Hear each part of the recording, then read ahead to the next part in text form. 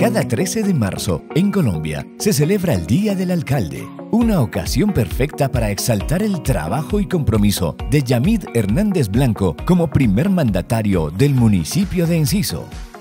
Destacamos su apoyo a la niñez, a las mujeres encisanas, a los campesinos, a la tercera edad y a la comunidad en general así como la gestión de recursos de orden departamental y nacional para el mejoramiento de vías terciarias, infraestructura, viviendas rurales y urbanas, el apoyo a los proyectos de promoción del deporte, la cultura y la sana convivencia, todo acorde con el plan de desarrollo Enciso vive un camino mejor, productivo y sostenible.